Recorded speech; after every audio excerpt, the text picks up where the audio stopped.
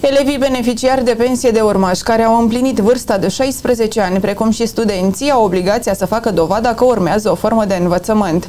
În cazul nedepunerii adeverinței la termen, pensia de urmaș se reține de la plată, dar se plătește retroactiv începând cu luna depunerii adeverinței în original. În județul Hunedoara sunt în jur de 15.000 de beneficiari de pensii de urmași. Au informat reprezentanții Casei Județene de Pensii Hunedoara, cea mai mare parte a acestora fiind văduve.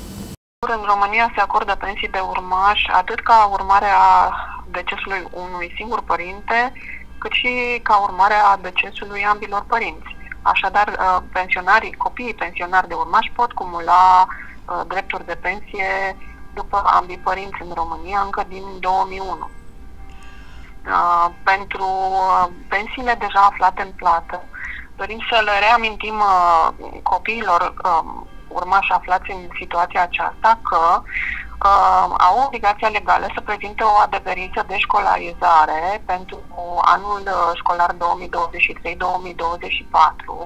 În cazul elevilor, uh, prezentarea acestei adeverințe trebuie să aibă loc până în data de 25 septembrie. În caz contrar, pensia aferentă lunii octombrie se va reține de la plată iar în cazul uh, studenților, uh, aceștia um, au obligația de a prezenta în prima instanță o declarație pe proprie răspundere care să ateste faptul că uh, se află în uh, evidențele unei forme, de, unei uh, instituții, instituții de învățământ autorizată potrivit legii, uh, iar um, uh, până în data de 25 uh, octombrie anului curent, ia obligația să revină la casa de pensii cu o adeverință în original uh, care să uh, certifice faptul că uh, în anul universitar 2023-2024